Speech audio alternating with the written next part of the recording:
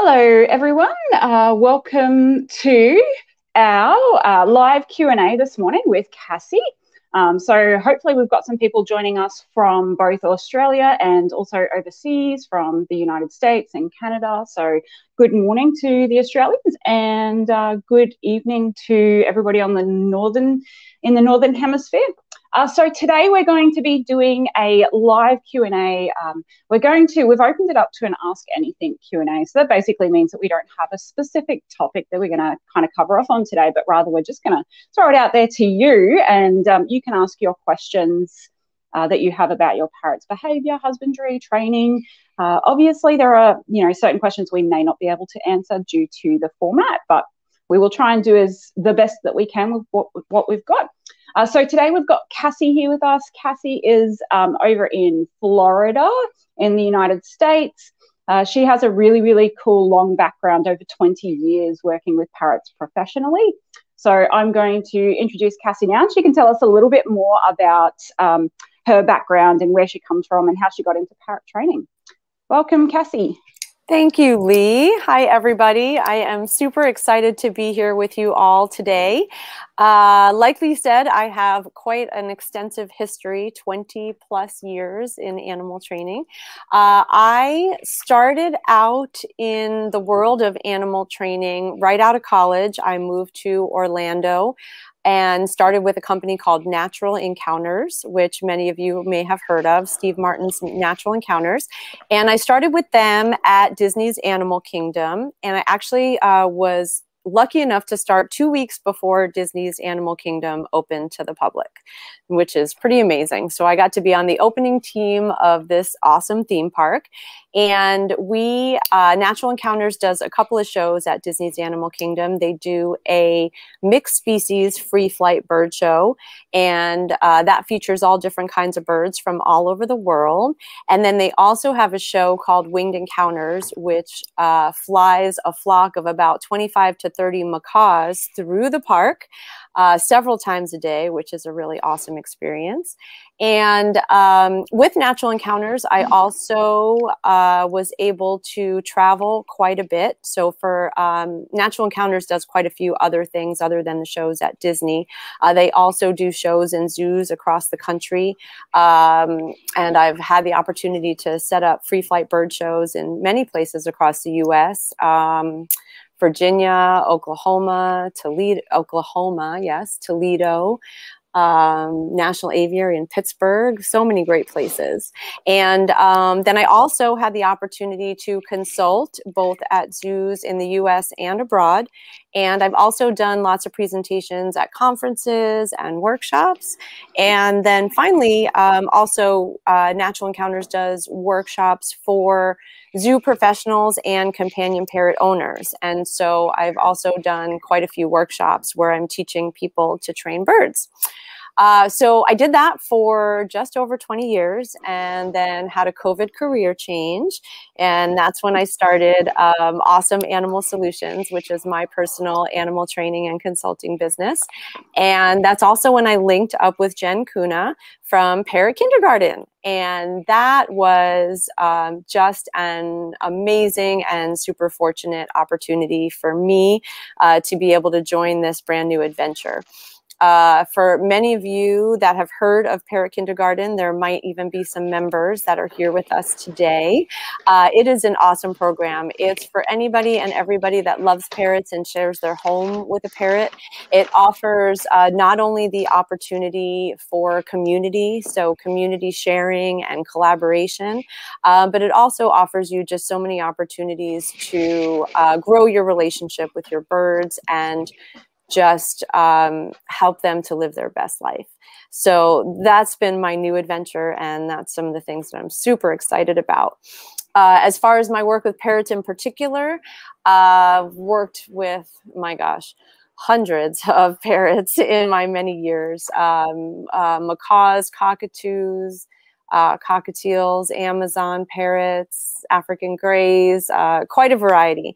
And uh, they're very near and dear to my heart. So I am very excited to be here today and hopefully help answer some questions for everybody.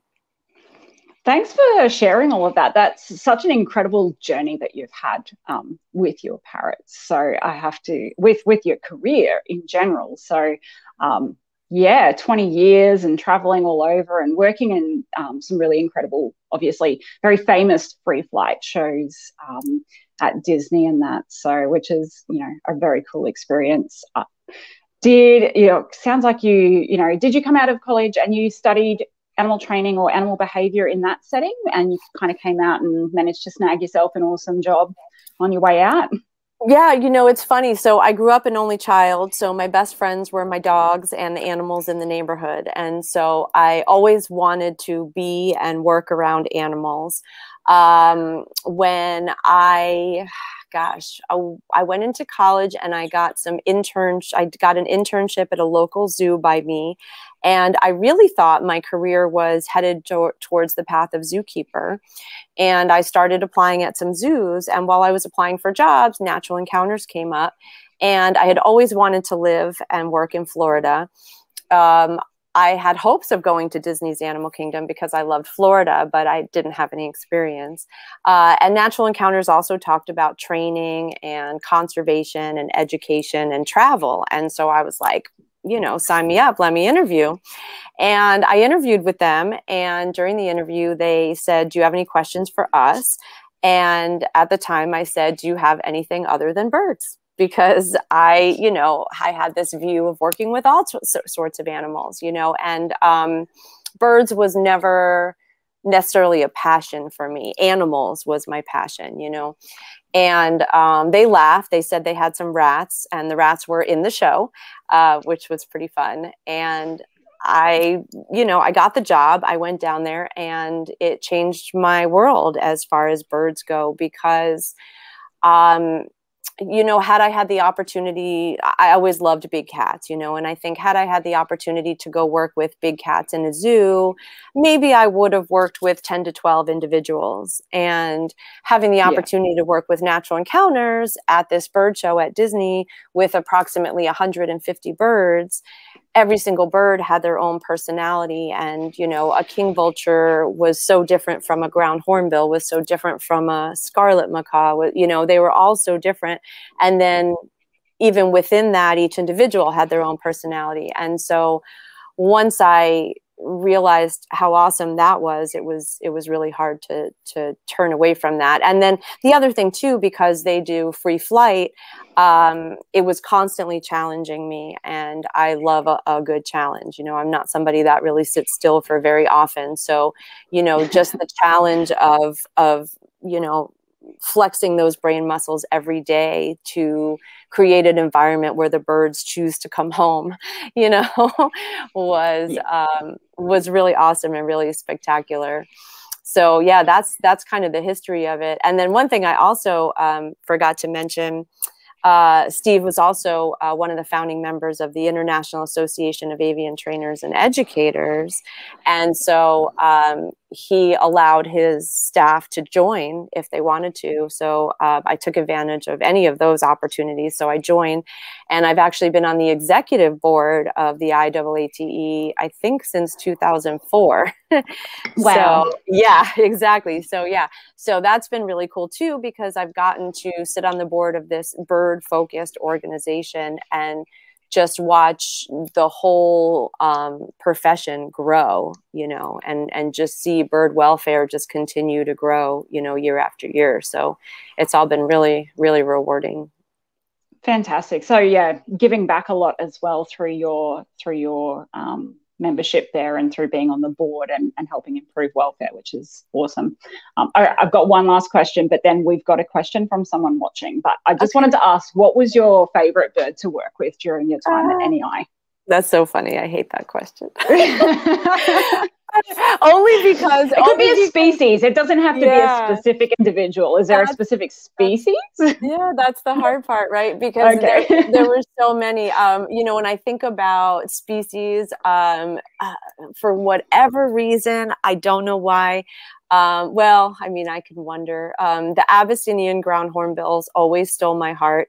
I think part of it is because I was petrified of that. I was afraid of birds when I first started. I was I was really afraid of birds. Um, and the ground hornbills I was so afraid of. And we had a show modification, and all the birds got sent to our ranch facility, and they had a vacation.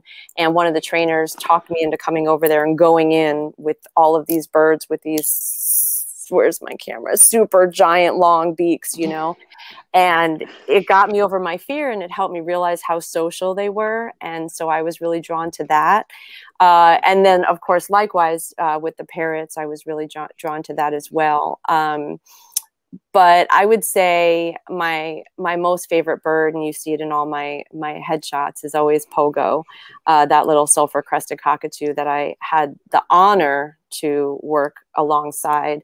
Uh, that bird is currently, gosh, 53, 54 oh, wow. years old. And he taught me so much, so much. He was just so brilliant and such a great teacher and such a great learner. And our routine was, it just required such a connection between us. And he, he always amazed me with just how how yeah there's the abyssinian ground hornbill i thought oh. some people may not know what that is so i'll bring a photo yeah. up so people can kind of see as yeah, yeah, so if you're afraid of birds that's definitely yeah. tough. Yeah. Yeah. Yeah uh, but so i mean their eyelashes and their coloring they were just they're such a unique interesting bird.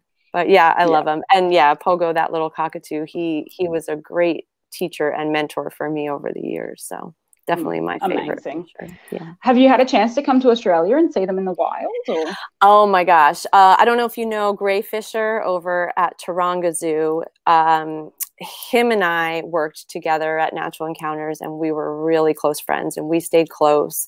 And I had the opportunity to um, speak at one of the parrot conferences in Australia. And we also brought a little IAATE symposium to Australia. So I got to go there for that. And um, when I was there, Gray and I took some vacation time. Both times I got to go. And so I got to see the cockatoos. I got we went to Tasmania and we saw flocks of hundreds of galahs, which was wow. amazing. I have some funny video of a greater sulfur crest um, flying at my camera at Centennial Park. They're cheeky, uh, cheeky, cheeky birds. oh my gosh, it was amazing. Yeah. So Centennial I love Park how much was, you guys appreciate them because I chased them out of my veggie garden a couple of days know. ago. I was like, get out of the garden, guys. I know, I know. It's it's such a different world. It's such a different world. I I absolutely love Australia so much, so much. That's awesome. Yeah. Cool. Well, all right. We've got a couple of questions, so I'm going to pop them up on the screen, um, so we can start answering some of these questions. So, Diana Hyde says, Thank you for offering this. One of my challenges is getting my Quaker, Cody, to stay on a station. He tends to fly off. He knows to station. I bridge and offer food rewards, safflower seeds, many, in fact, for being a good boy, and hoping to get him to stay stationed until I release him. He also turns around for me and then he flies off at will. Thanks. All right, awesome. So I'll leave that. Got, got some tips there for Diane? Uh, yeah. Uh, you know, I have some clients currently right now that have little birds. And what I'm seeing in our sessions is that these little birds are super fast learners. And I think one of the challenges we have sometimes is keeping up with them. They're sometimes ready to go before we are. And so when I think about asking a bird to station, uh, I think about building duration. So, in the simplest sense, that means that you, uh, let's say you're going to uh, say good and deliver a treat when your bird is on station. So, you would say station and then you would say good, treat. And then to build duration, it might look something like good, treat, good, treat, good, treat good treat. And so you're systematically lengthening the amount of time between treats. Um, what I've also found works really well is as you're starting to lengthen that time, to vary it as well. So something I like to recommend is maybe counting to yourself so you know that you're building duration. So one treat, one treat, one, two, treat, one, two, three, treat. And then to vary it, maybe you give a treat after three beats, and then after one beat, and then after four beats, and then after two beats. So you're building in some variety into that duration. Um, now that's like the basic way to think about it. But sometimes when you have a bird that's a super fast learner, asking them to sit still and do nothing for an extended period of time can be really difficult. So something that can help is finding other things for your bird to do while on station. Um, that could be playing with a foraging toy um, or a shreddable toy or any other type of toy, but it could also be asking them to do other things. So while you're on station, can you turn? While you're on station, can you wave? While you're on station, can you put this object in this other place? So trying to find other things to keep him busy at that same time might also help if your situation is a bird that's just ready to learn so fast that we need to try and catch up. What do yes. you think, Lee?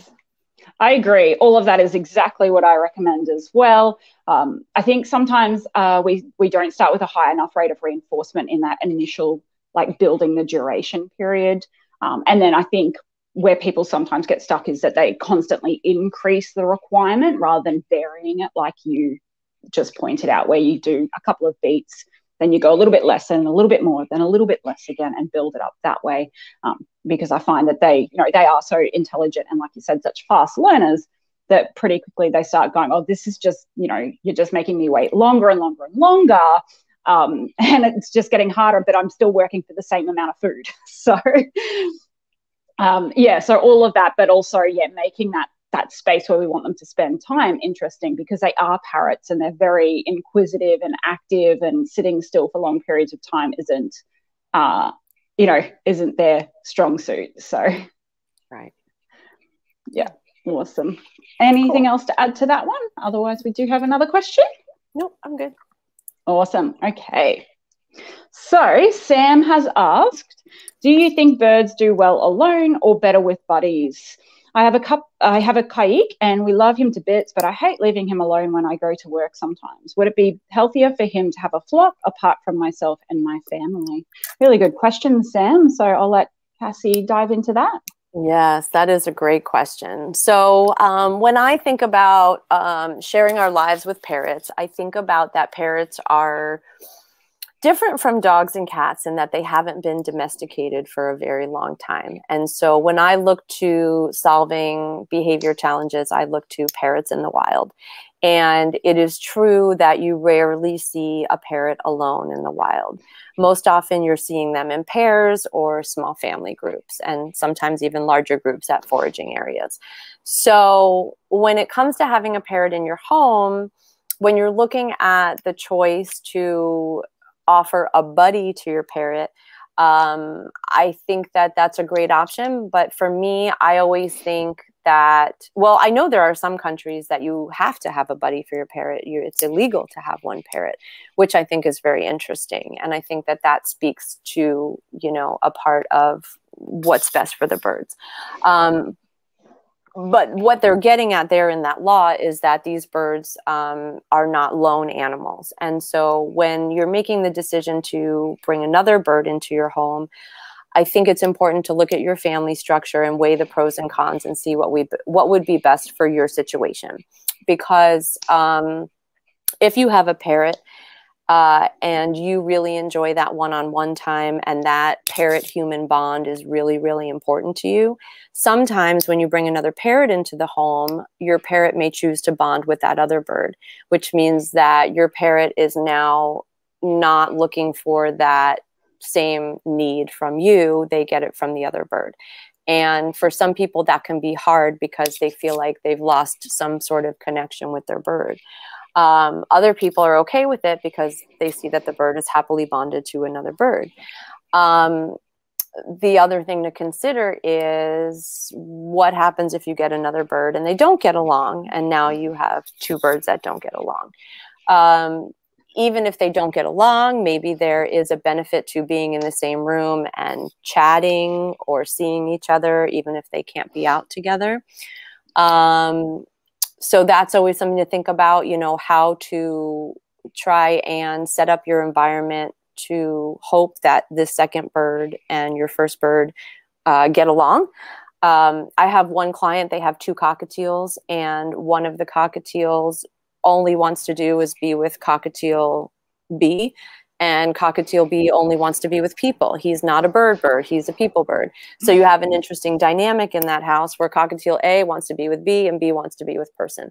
Um, but they work it out and they work around it and, you know, they change how their family dynamic is to make sure everybody's happy. So um, I don't think it's a hard black and white answer. I think it, it definitely depends. Can that increase um, the quality of life for your bird? Yes.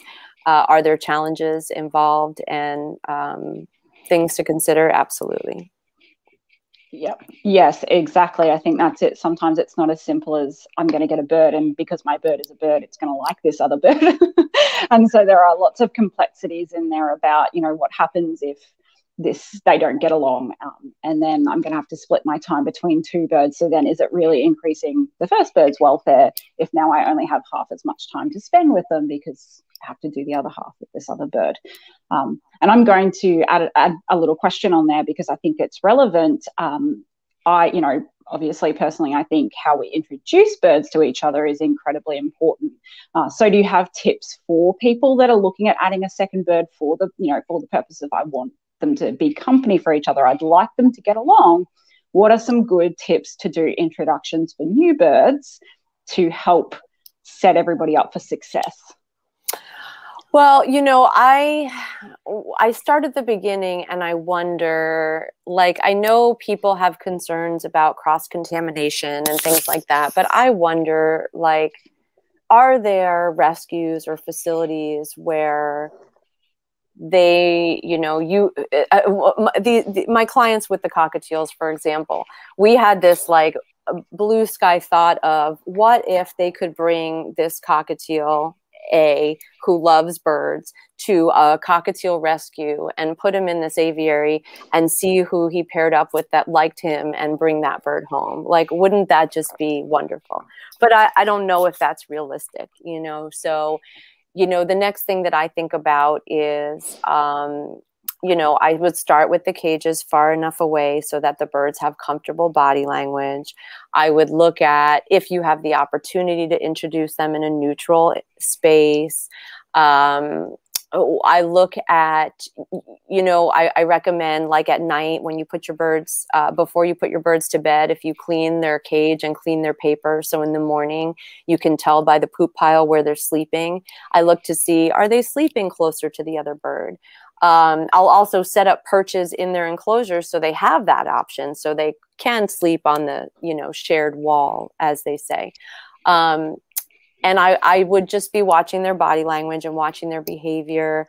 Um, you know there's things that you can train you can train station training and delivering treats for you know stationing your birds as far away from each other as they're comfortable and then approximating to closer at their comfort level. And you can be doing that with their enclosures as well, where you bring the cages closer and closer as you see that relationship happen until the cages are, you know, close enough that you can see they might get along. If you decide to house them together, I always say the bigger cage is better, a new, neutral, big enough cage where everybody has enough space to get away from each other, making sure everybody, each bird has their own food and water. So if one bird is kind of nudging another bird out of the food bowl, they have another food bowl they can go to um, space to hide, you know, like if there's a favorite toy, maybe two of the same toy so that, you know, I try and decrease competition when I'm introducing them into a new shared environment. And I also just want to make sure they have enough space to get away. And um, I do a lot of monitoring, a lot of observation. Uh, nowadays, you know, you can get these. Uh, so many different Wi-Fi cameras, so you can check in on your birds from your phone. Um, so there's a lot you can do to kind of set it up step by step and develop a plan to hopefully try and make that uh, introduction successful. What awesome. do you think? Thanks. So. Yeah, that's a lot of the same sort of stuff that I recommend. I think it's important to make those first intros as positive as possible. Try to avoid um, competition, as you say, and um, and create lots of positive experiences around each other. So um, I think some of the, the biggest issue that a lot of people come up on is that they have a bird that's very bonded to them already. Um, and then they add a second bird, and there might be some competition around the human's attention. And that can be a little bit more challenging um, because when the human is present, everybody wants the human. uh, but so, do you have any tips for that for, for people that might be struggling with birds that both love the human and, and are struggling to share that that attention? Yeah, um, one of my favorite things that seems to be working well, especially if you're looking at um, environments and situations where uh, you're hoping that the birds will be out of their cages and near each other, is uh, station training. And so, if your birds, um, I have I have one client where their birds are bonded and they want to work with the birds. So in that case, each bird, and these are little birds, little conures, so they're on a, um, a table stand perch and their perches are very close to each other because they will work for for the person as long as they're near each other. Whereas some birds it's the opposite. You might have to station them far enough away that they're not vying for competition. But again for me you know i'm i'm always somebody who looks at observable behavior you know? So i'm if if i'm training my bird over here and i see this bird over here is showing behaviors that i would describe as anxious or attention getting or you know pick me, pick me, pick me, then I need to work more with that bird so that I'm not allowing those types of behaviors to be practiced, which might lead to, hey, now I'm going to chase this guy off the perch because you're not paying attention to me. So if I have a bird that has a higher uh, need, I'm going to find a way to make sure that I've asked this bird to do a behavior and then maybe they have a bowl instead of hand feeding so i can drop three or four treats in that bowl so while that bird is eating i can do a little bit with this bird oh he's done eating okay will you spin great here's a a nutriberry that might take a little longer to eat. Okay, we're going to do some work. So it's definitely a challenge. I mean, you know, working professionally with large numbers of birds and doing shows, you learn to train your bird while you're delivering dialogue and train the other bird and train you know manage the audience but it's a it's definitely a skill that takes practice and uh, it's not easy at first you know it definitely takes some yeah. it's a challenge yeah. yeah. Those are some really good tips, though, because um, I think people struggle with that sometimes and they're not sure how to get the birds to work together. And uh, yeah, stationing on, on separate stands and, and teaching them to, I guess I call it like wait your turn and, and working with them simultaneously, but one bird's kind of waiting while the other bird is engaging in some active um, training and then switching it around can be really helpful.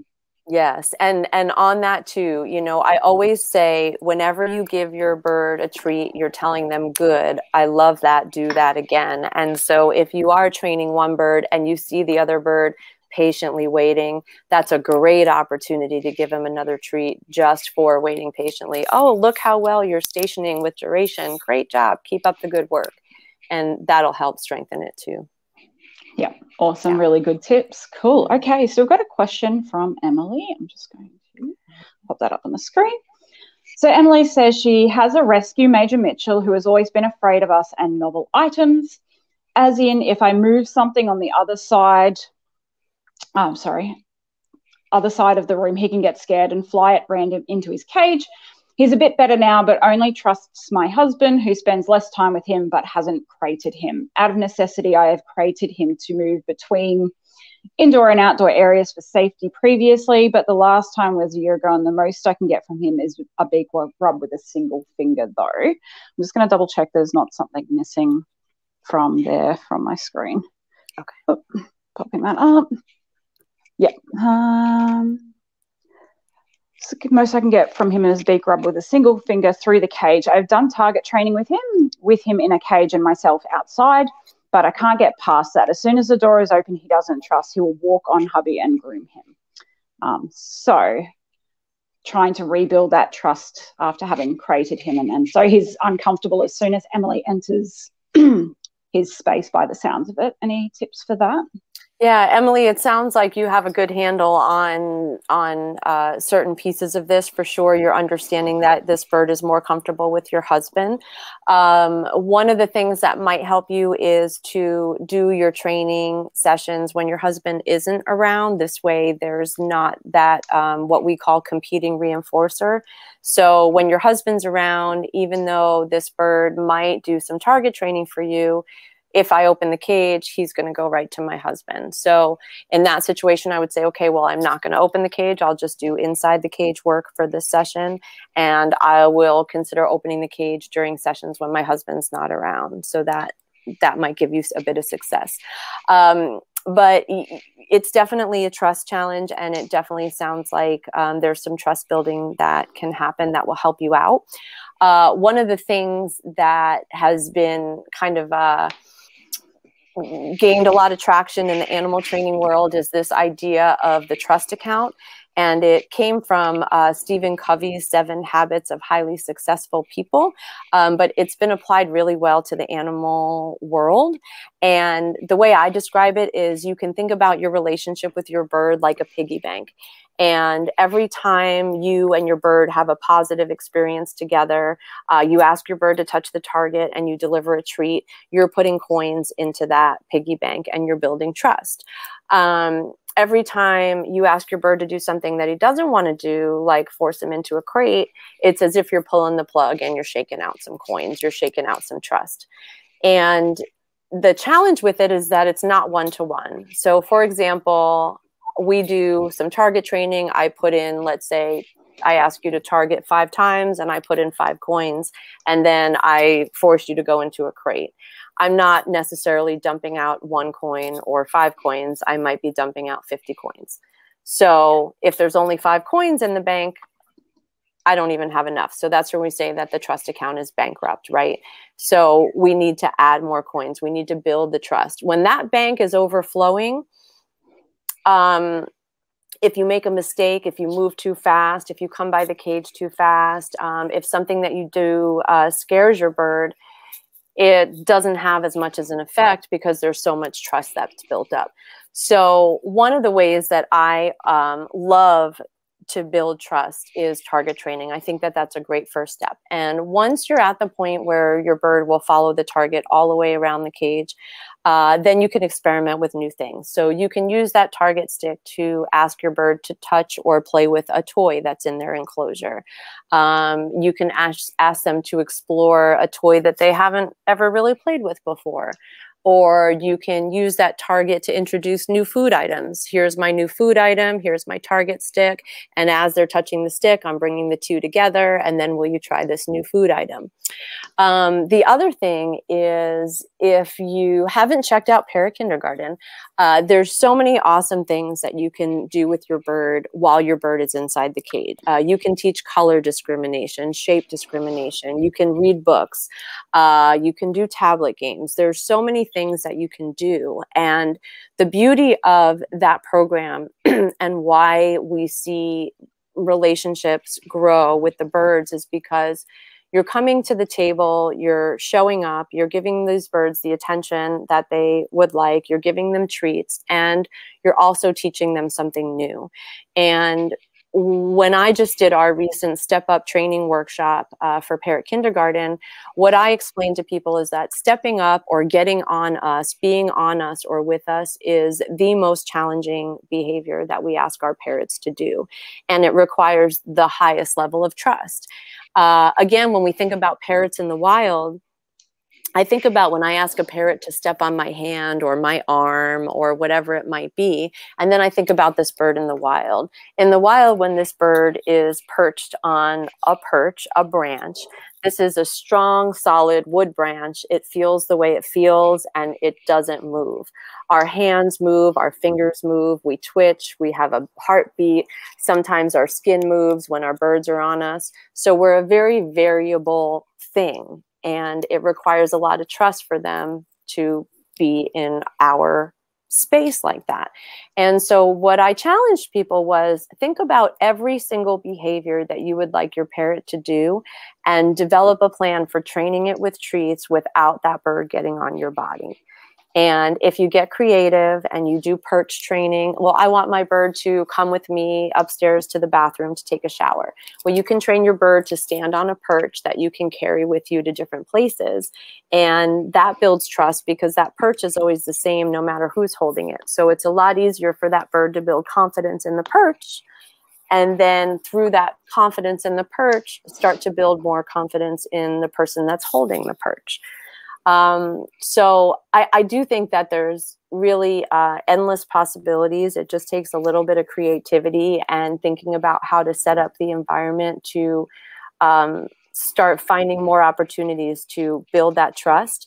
If um, if crate training is a necessity and that has to be done and you're the only one that can do it, then I would find whatever way necessary to to um, find as much time as needed to crate train uh, and spend your time on that. But the thing with crate training is that's a really challenging behavior too, because especially if you're using a, a Vari Kennel, you're asking your bird to go into a dark place uh, birds tend to be a little more comfortable in an open wire uh, carrier where they can see out. Um, but again, you're asking them to go into a small space. So you're asking them to be vulnerable. So the more that you can build your relationship with nice, easy, simple behaviors that don't require that high level of trust, you're going to be building so many layers of trust that when you later go on to ask them to step up or ask them to do crate training, they'll be more willing to learn because now you have a stronger relationship um, and a, a full piggy bank, a full trust account. Yeah, yeah, those those are really good tips, and I think this is one of those situations as well where it might be a case of like a consultation where people where you know you can get a little bit more information. There may be other triggers occurring in the environment that are, are kind of contributing to that level of fear that you're seeing from that bird as well. So um, I think that sometimes thinking in terms of um, working with someone to get that more kind of detailed history and personalized assistance can be really helpful too so. Yeah the consultations are so great um, because be, because when you're consulting with somebody that has a lot of experience reading bird body language they can start to help you see things that you may not already be able to see and really learning to read their body language. You know one of the things that i learned working with birds is they can communicate so many different things just based on how their feathers lay and how their eyes look. And they have so many feathers. So there's so much communication that's there. And the more we learn to read it and, and kind of have that two-way communication, that two-way conversation, um, the more our relationship grows. And the consultations are great because we can go through that journey together and you know we can help you see small things that you can change in your body language that can make big differences in building trust. Yeah, absolutely. I agree. So much. Uh, and I know it's um, people don't realize how much our body language and how we're standing and holding and moving can have such a like an incredible effect on our animal learners. Um, and that's especially true, I think, with parrots being, you know, a prey species who are really, really switched on to what's going in, on in the environment around them. So, yeah, yeah. Cool. We've got a couple more questions. So we've got two questions here that are about similar questions. They're both about blue and gold macaws screaming.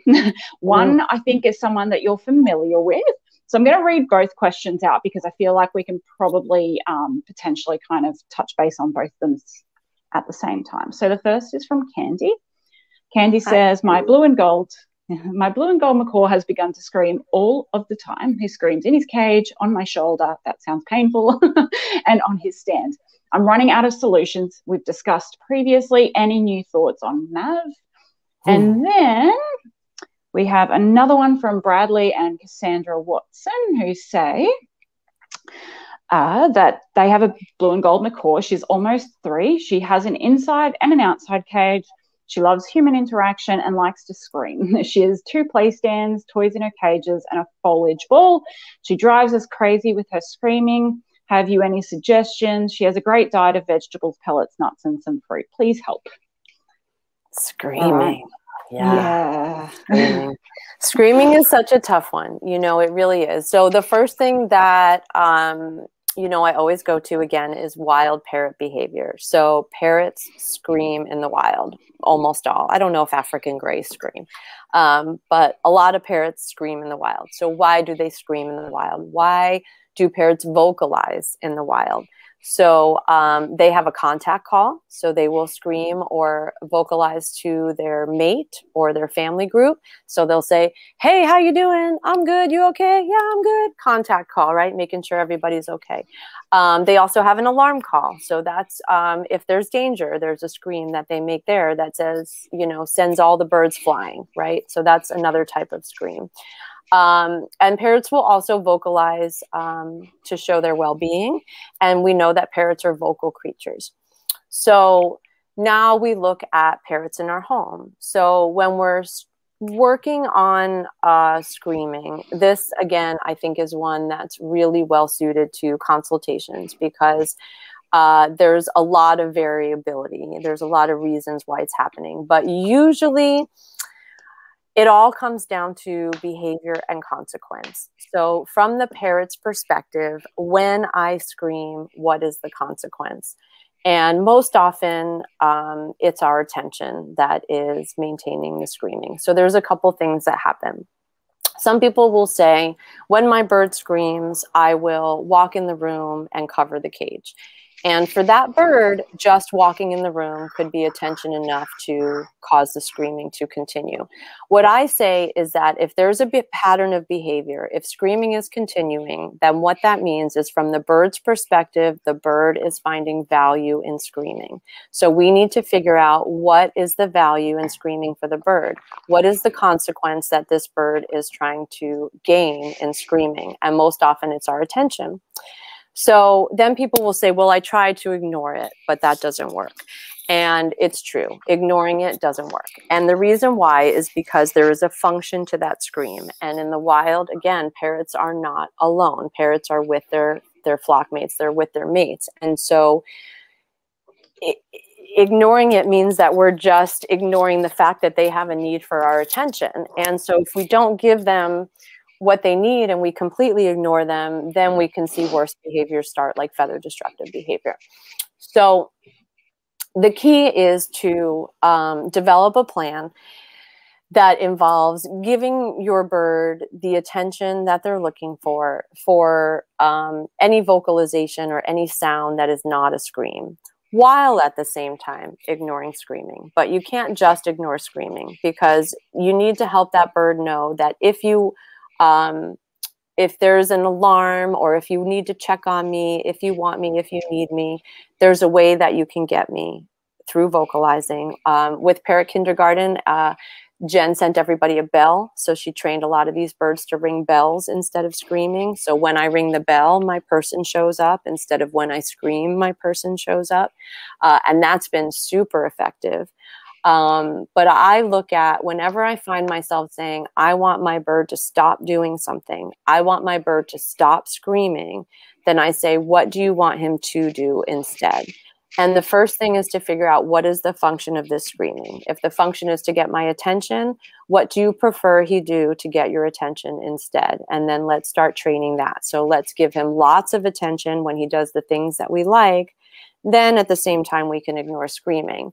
That kind of system works because the bird is getting that function that attention that need filled just by doing an alternative behavior if we think the bird is screaming like um, you know candy you and i have talked a lot and you know we'll continue to talk your your case is very complex because unfortunately in your situation sometimes you have no choice but to reinforce the screaming because you need to interrupt it and by showing up to interrupt it we're also reinforcing it. Um, but if we don't think it's screaming for attention, if we think it's a scream for something else, my bird screams uh, maybe it's when he wants to go inside. If he's outside, he screams to go inside. Um, once we recognize that, then again, what can I teach him to do instead to go inside? My dog was howling at me when he wanted to go inside. I taught him to ring a bell when he wants to come inside because I prefer ringing a bell to howling at me, especially in my urban neighborhood. Um, so yeah, so screaming is definitely hardwired. And then the other thing that I will say about it is I don't think it's realistic to expect to share your home with a parrot and have a silent home. Um, parrots are just noisy animals, and it's not realistic or healthy, I don't think. I think if you have a quiet parrot, I would be concerned about their health. What do you think, yeah. Lee? I know I know screaming is a big challenge and I know it can tear up a family. I know it's no joke. Yeah, absolutely. Yeah, I think that's um, it's certainly by far probably one of the hardest behaviors um, that we get asked about. I mean, feather destructive behavior obviously has a really emotional um, side to it that's really difficult. But screaming is by far one of the probably the most common reasons that birds get rehomed because it does, um, like you say, tear fa- families apart and, and cause a lot of friction within the family environment. But um, everything that you say is it, exactly what we, we recommend. So I'm listening to you and I'm like, yeah, I have very little extra to add here. Um, on top of that, I mean, it, it's like you said, it's one of those ones where a consultation is the best option because we can dig into those um, that behavior history and find out exactly what may be triggering it because not every scream is the same as well. Um, so, you know, we've had clients where the bird was screaming because there was something nutritionally missing from the bird's diet and that needed to be rectified. And when it was, the screaming stopped that way. So there are many different areas that need to be explored to make sure that we're meeting all of those needs for the animal, like you said. Yeah, and and you know the other big challenge with screaming is you know there's there's the variable schedule that often happens where um, my bird is screaming and I say I'm going to ignore this. I'm just going to ignore it, and after two minutes, I just can't take it anymore, and I get up and I walk in the room. Some people will yell back at their bird, which from the bird's perspective could very well be reinforcing. Yay, we're screaming together but but the important thing is that if i if i you know i'm ignoring it i'm ignoring it. And after two minutes i go oh my gosh i can't take it. And i walk in that room. What i've just told my bird is if you scream for two minutes i will show up. Well so then i go back and i say man i messed up. This time i'm really going to ignore him. I'm not going to go in. And now after 10 minutes i go in. So now i've just taught him just keep screaming.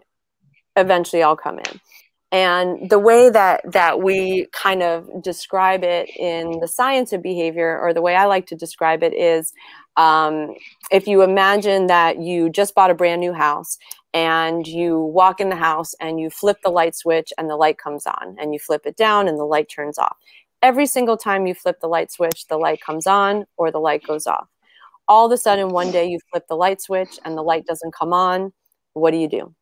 I change the light bulb period. That's it. I don't continue flipping the light switch, right?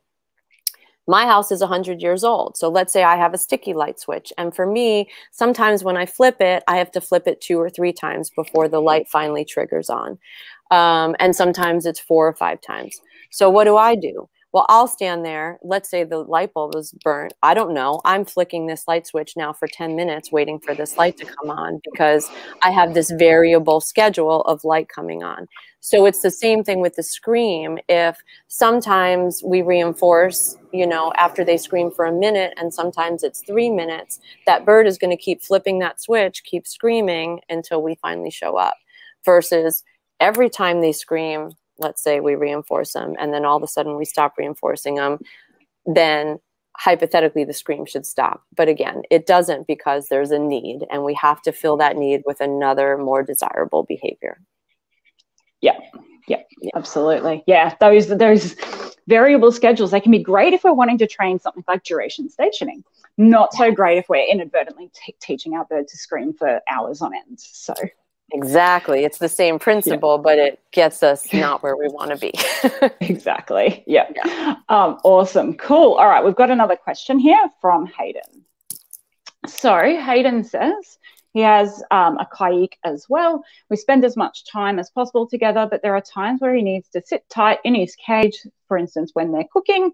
Do you have any tips for making cage time more fun and less stressful? We have toys and treats, but he is still he still gets rather upset with separation um, and he focuses on things like rattling the cage door. Yeah. So, one of the things that can help is if your bird um, is in in close enough proximity so they can see you. So um, at least this way, you're not, you know, when cooking time is happening, he still can be near you, so he can see you, kind of be part of the action, you know, but still stay safe. Um, the other thing is, yes, I think about. Um, not just that he has treats and toys, but can he get some novel treats and toys? So, can dinner time when when it's time to put him in his cage for dinner time, when it's time to cook, uh, are there toys that he loves better than anything else, like foraging boxes filled with treats, um, or something to shred, or even um, any toys that that um, you can add treats to, even if you're using like a little bit of almond butter and sticking some some seeds on it throughout, or something like that. The goal is during the time when I'm cooking, what do I want him to do instead? And how do I set up that environment for that? And if playing with toys is what I wish he would do, um, sometimes offering new toys at that time, if he's not afraid of new things, can be something that inspires him, or extra special toys that he only gets during those times when you're cooking. Um, and if he won't play with them, then during the non cooking times, that's a time to to spend some time training him to play with his toys. And you can do that with target training uh, and some other ways as well. But the more you can teach him to interact with different items, then it opens up your toolbox for different items that you can use to um, give him things to do during those times when you're not available. What do you think, yeah. Lee? Yeah, I feel like yeah. I'm just nodding and agreeing with you, but that that would be what I would recommend as well. As I'd be, yeah, like utilizing some food foraging or um, some activities that are kind of special and kept aside for that time of the day um, so yeah. that we can keep him busy and, and help him feel a little bit more comfortable and happier in that in that setup. Because it is you know realist like realistically we just can't have them with us all of the time. It's not safe for them to do so uh, so we need to be able to set them up um, and encourage them to be able to play independently at those times. And i think yeah yeah, toys, you know, novel toys um, and food foraging opportunities can be a great way to help them feel. Um, and I think it's it's more about food foraging. And I don't know if um, when Hayden said that there's treats available, whether that's just a case of we pop some treats in a bowl, um, and if that's the case, then maybe we can uh, start, you know, building on some foraging. And if you've not done a lot of foraging, um, maybe maybe you need to do a bit of intro to foraging as well, which we do have a video on in our Facebook group. If anyone is not sure how to introduce foraging to their parrots for the first time. Uh, so you can find that there. Uh, but yeah, that's a really good way to to help them feel more more comfortable with that kind of setup for the time being. Yeah, and there might be other fun things that you can explore. I'm always thinking about outside the box ideas too. You know, like maybe you put on some music and maybe, you know, your bird dances with you a little bit while he's in his cage, or you sing to each other, or you contact call. Um, while you're making dinner, if there's healthy things that your bird can have, if you notice that he is playing independently with toys, that's a great time to walk over and share some of the food that you're making, some extra special treats for playing independently while I cook, you know? Yes, yeah. And I think also, you know, can you set yourself up for success by, um, you know, are there other times of the day where the bird spends a little bit of time in the cage that they're less I guess, agitated by being in there, that we can also work on reinforcing um, for that kind of ideal behavior of maybe playing with toys or hanging out and preening. Um, so, you know, are there other times of the day where they're a little bit less agitated? Because I do find some birds are like, you're in the kitchen. I know that's where the food comes from. So they get a little bit more, they might be a little bit more worked up in that in that particular setting. Yeah. Excellent. Cool. All right. Well, I think I don't see any more questions just yet, um, which is perfect because we're coming up on just close to an hour now. Um, so before we finish up, do you have any other little little tips or advice you want to share with anyone? Hmm, tips or advice. I I guess what I would say is if there's one thing that I've learned um, from working with the Parrot Kindergarten group is that um, there's so much value to just at the very least um, choosing to set aside three to five minutes, three days a week to spend quality one on one time with your bird. where um, whatever that looks like, if you're doing target training while they're in the cage, maybe color discrimination, maybe it's voluntary nail trim, whatever is important to you. But three to five minutes, um, you know, three days a week of some training time can make a world of difference. And if you love it and you want to do more, more is always better. Um, but I think what's important is that all of our lives are different and unique and we all love our birds and we all want what's best for our birds and i don't think that there's ever one black and white answer i think it's the, the beauty in getting a consultation um, well at least the, the way i consult I, i'm very collaborative so for me i'm always looking at you know tell me about your family life and what's important to you and what do you need out of your relationship with your bird and that's the avenue that we'll take because um, everybody's different and everybody has um, different things that they bring to the table.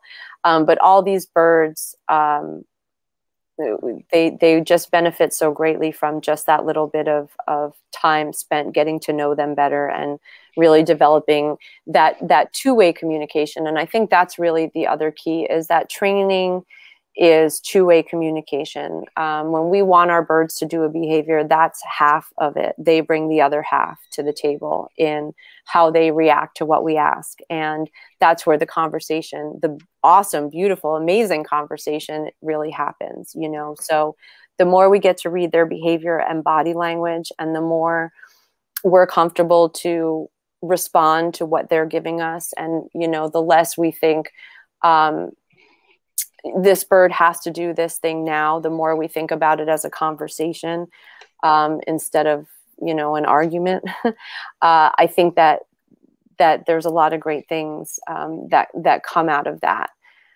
Um, yeah i mean i just you know when we talk about uh, the science of behavior we talk about things that are reinforcing to animals things that animals will work to gain and, you know, we all can clearly see and understand that food, water, shelter, these things are primary reinforcers. These are things that all animals need to be safe. And the science says that choice and control our control is a primary reinforcer. So having the opportunity to have control over my environment is a need that all animals have.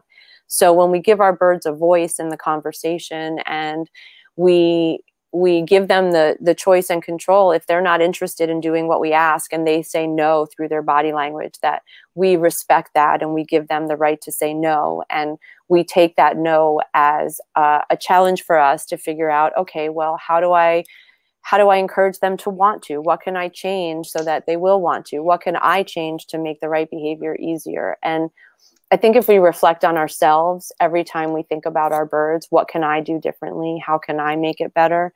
Um, then we go a long way towards fixing it.